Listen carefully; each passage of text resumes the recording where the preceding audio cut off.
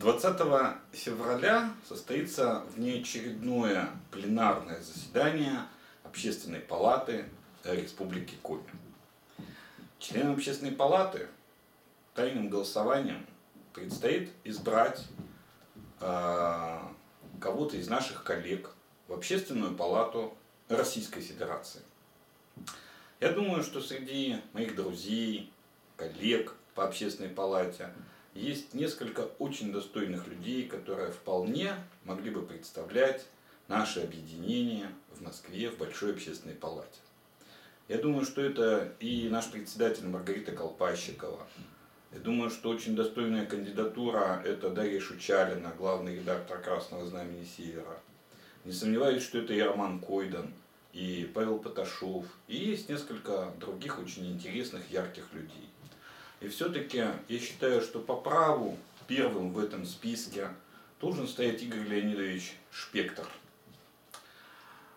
В свое время, много лет назад, когда я услышал о Шпекторе, то я подумал, что это не человек, а что это какая-то должность, что это какое-то звание.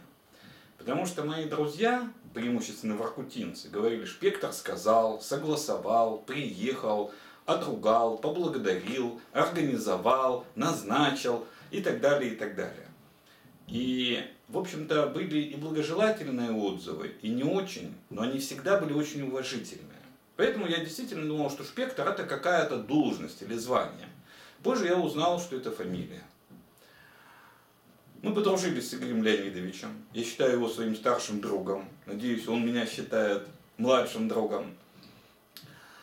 И я должен сказать, что вот тот бесценный опыт, который он накопил э, на посту мэра Воркуты, он и теперь служит и в Воркуте, и всей нашей республике. Э, я считаю Игоря Леонидовича, он, конечно, человек не без недостатков, как и все мы. Да? Может быть, он порой бывает излишне жестким, может быть, он пытается разрешить ну, большее количество проблем, запросов, чем этот человек в состоянии сделать. Такое, наверное, бывает. Вот. Но еще раз говорю, все мы не без слабости, Игорь Леонидович не исключение. Но это человек, с моей точки зрения, исключительной, кристальной порядочности, честности и принципиальности. И я много раз убеждался, что если мнение Шпектора противоречит мнению регионального руководства или федеральных министров, то он выскажет свою точку зрения, которую он считает правильной. Он не конъюнктурный человек. Он может сотрудничать и с региональным руководством, и с федеральным, но свою точку зрения, которую он считает справедливой, он всегда будет отстаивать. Я могу привести несколько примеров. Вот э, Усинск, с которым меня многое связывает. Там есть прекрасная управляющая компания «Универсал» и ее генеральный директор Ирина Цепищук. Ирина и ее компания испытывали огромные трудности в Усинске. Их прессовали, им предъявляли какие-то незаконные претензии. В общем, жизнь у них была отнюдь не сахар. И может быть эта компания бы развалилась. Но вовремя в Усинск приехал Игорь Леонидович, он изучил документы, пообщался с жильцами, с руководителями домовых э, комитетов, с самой Ириной Цепищук, с ее оппонентами. И картина стала ему ясна.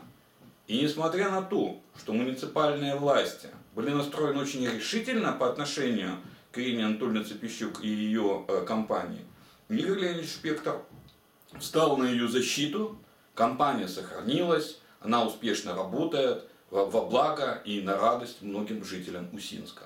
И таких историй я мог бы рассказать на самом деле очень много. И еще один момент. Вот, кажется, неделю назад я был гостем на заседании попечительского совета Ухтинского университета. А председателем попечительского совета как раз является Игорь Леонидович Шпектор. Он очень много делает для развития Ухтинского университета, образования и науки вообще. Он очень много помогает молодежи.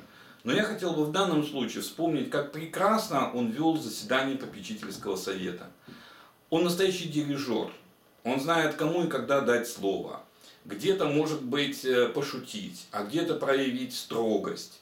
но при этом он всегда очень точно следует целям и задачам, в данном случае поставленным перед попечительским советом. И я думаю, что благодаря энергии и авторитету Игоря Леонидовича этот попечительский совет работает очень хорошо, успешно, а в нем, между прочим, заседают такие уважаемые, известные, авторитетные люди, как сенатор Евгений Самойлов, генеральный директор РН «Северная нефть» Сергей Нестеренко. Это, конечно же, сам ректор Ухтинского университета Николай Цхадая.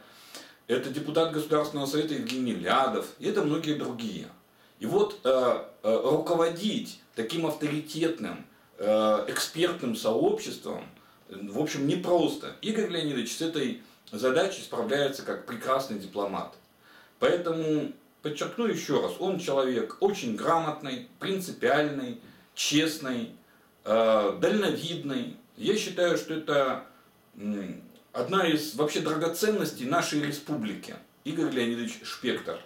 Поэтому я надеюсь, что коллеги поддержат э, эту кандидатуру. И сам я буду голосовать, конечно же, за этого прекрасного человека, своего друга, яркого общественного деятеля Игоря Леонидовича Шпектора.